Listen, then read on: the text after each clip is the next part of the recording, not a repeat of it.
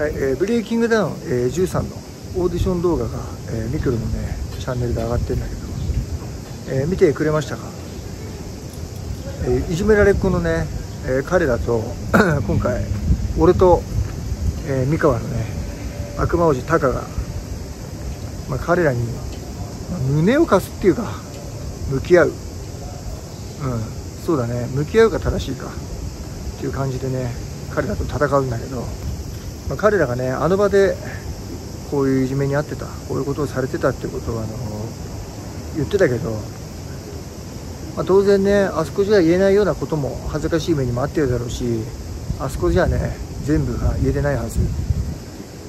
でいじめっつうのは本当にどれだけ時代や、え文化や流行やねいろんなものが変わってもあのなくならないんだよね。これはそのいじめられてるやつらに何かその原因があるとかあの思ってるやつもいるかもしれないけどこれはねあの結局そのいじめるやつらの虫の居所一つでターゲットっていうのは変わるんだよ。これはいじめるやつらの俺から言わせれば精神の病なんだよ。いじめるやつらの心理状態の脆さだったりあのコンプレックスだったりいろんなものが合わさってでまたそこにその学校とか会社とかバイト先とかそういう場所が余計にその怒涛を組ませやすい怒涛を組みやすいんだよね。同じような体温のやつらで、えー、怒涛を組んで自分たちのコンプレックスだったり虫の居所をねあれするためにターゲットを探すんだよね。で奴らはその人を痛めつけたり、うん、なじったりみんなの前でこう笑い物にしたりすることで自分たちのアイデンティティだったり自分たちの、うん、埋まらない承認欲求だったり何かそのコンプレックス劣等とかを埋めてるんだよねいじめることで。でいじめられてるやつらは自分がそうやってターゲットにされるもんだからなんで僕だけ？で自分にもしかしたら原因があったのかなっていうふうになっていくんだよね。うん。仮にお前らがすぐ転校してたりあの環境がすぐに変わってそいつらのあの手から離れてもそいつらはまたすぐにターゲットを探すだけなんだよね。本当に。なくならないんだよ。まあでもそれをねまあこれこのあのお前らはこの動画も見るだろうから。まあよくあれだけのね数十万数百万人とかが見るようなブレイキングダウンのオーディションの場に、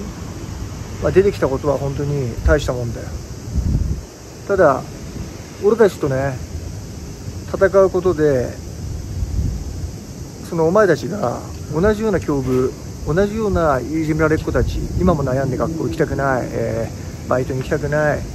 えー、小学校行きたくない中学校行きたくない高校行きたくないで同じように、えー、少しねそのえー、闇からはね離れて時間が経過したけどもまだ1年前2年前までいじめられてたからその傷が癒えないとかね。そのせいでやりたいことや挑戦したいことがいろいろあるのにね自分は自信がなくなってしまっていろんなものを喪失してしまって傷ついてだから立ち上がることができないというふうにね塞ぎ込んじゃってる、えー、彼ら彼女たちっていうのがあ、ブレイキングダウンの視聴者の中にもかなりいると思うよ。ね。そういう子たちに対して、お前たちが今回、勇気を与えれる、その側になれるのか。勇気を与えれるような側にお前らがなれるのか。あるいは、あれって、お前ら余計なことしてくれんなよって。お前ら出てきて、ね、何か俺たちの自信やね、勇気につながるようなことをしてくれるかと思いきやぐちゃぐちゃにされてねただ単に恥かいて出てきただけだったら余計俺たち何の希望もなくなっちゃったよっていう風になるのか。それはあの本当に9月1日のお前ら次第なんだよ。そのためにはお前たちはこの1ヶ月1ヶ月ちょい1ヶ月かあもう1ヶ月ないか。お前たちはそのいろんな意味でもう本当に奮い立たせていろいろと足りない期間だけど作り込んでこなきゃダメなんだよね。まあでもやらなきゃお前らまた負けだからな。ここセミの鳴き声とすごいな。あの雲の糸ってのは何だ？わかる？なんかそういう昔の話あるよな。地獄から這い上がるのに糸を垂らして仏かなんかが糸を垂らして仏様かなんかが雲の糸を垂らしてそれに飛びつくんだけどなんか途中で切れてとかなんかなんかそう覚えてないけどなんかあるよな。そういう意味なの？まあわかんないけど。まあ一番右側にいた彼はねちょっと俺だけなんでここにいんのっていうような顔してたけどあれは確か選考会の後に俺と溝口さんとか甲斐ちゃんとか陸斗で歌舞伎町行った時にばったり会った子だよね。昔はいじめられた過去はあったけど今ボクシングだか柔道かなんかやっててもう心身ともに今強いのかな。ただ当時そういう過去があったんだっていう子だからおそらく多分手前にいたな手前にいた2人と俺はちょっと違う。俺はお前らより戦えるんだっていう多分そういうプライドがあるのかな。だから少し俺は違うみたいな感じだったけど。まあそんなのもひっくるめて、まあ、俺と悪魔王子タカが、まあ、どこまでやっていいのか分かんないけど別にあれするなこれするなとは言われてないから俺らも別にねサンドバッグになるつもりで行くなんてことは全くねえからさ。まあまあ行くよ多分こっちも。それなりにね。というとこかな。まあとりあえずそこは腹くくってね腹をくくるという初めてのことかもしれないけど腹をくくるということをね覚えて勇気を宿してね来てください。で、えー、もう一個。そう。俺が今あのこれからねやっていく活動の共謀者のねボランティア活動なんだけど本当に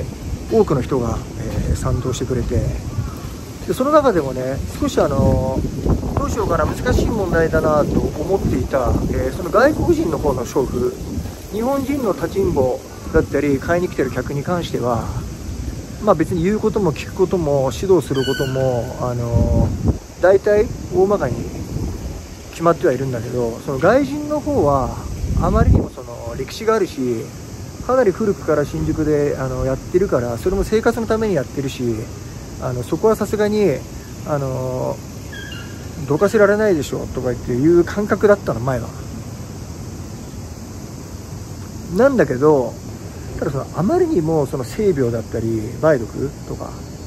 そういったものが、まあ、エイズもそうだよね。最近は聞かないけど。ただそういったものがはびこっててでそれっていうのはどんどん伝染していくしあのあそこをね取り巻く問題だけじゃなくなってくるから。そのだって娼婦だって体も壊しちゃうしね。だからまあ言葉の壁とかはあるけども一応英語でそういう、うん、あの危険極まりないんだと感染症その性病に関してはその危険なんだと。いうことを教えるための、うん、何かそういうプラカードなのか、うん、何か T シャツに入れるのか分からないけどそういうメッセージをあの引っ提げて外国人の、えー、売春婦の方にも、まあ、ちゃんと行こうかなと。でそういうことを考えてた矢先、えー、なんとねもう新宿で何年も現役で看護師さんやってますっていう方が賛同してくれてメンバーシップに来てくれてあのでその後もそういった、えー、今後俺らの活動にあの何がねあの邪魔してくるか分からないし例えばその性病の怖さってのは何なんだと。言ってみろって言われた時にちゃんと当事者にも、えー、何かね横やり入れてきたやつらに全てに対してちゃんとそのこちらから説明ができるそういう医学的根拠のある、えー、エビデンス付きのそういう説明ができるのかってことも聞いたら、まあ、専門ではないけども、まあ、看護師さんだしちゃんとそういった専門書や文献からちゃんと引っ張ってきてしっかり勉強した上であの勉強しながら参加してくれるっていうかこれはもうすごい心強いなと思って、あのまあ、他にもね変なこと言ってくるやついるんだよ。あの辺はヤクザ一体ヤクザの後ろにいるとかヤクザのしのぎもかかってるから余計なことすんなとか。あのそんなの言われないでも分かってるしなお前分かってんだよ。そんなのは。だしあのじゃあ何なんだよってことなの。ね。不良だろうが警察だろうがね。そんなな若い女の子たちが体ボロボロになりながら性病になりながら、ね、将来子供産めなくなるような、ね、体に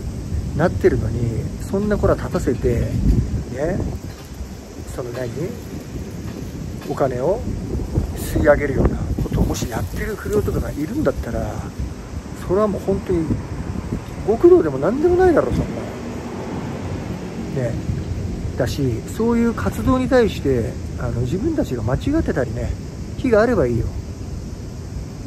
だけどこちらが間違ってない。こちらはむしろ間違ってるどころか正しいことをしている。そういう揺るぎない大義がある場合に限ってあの何者にも何人にも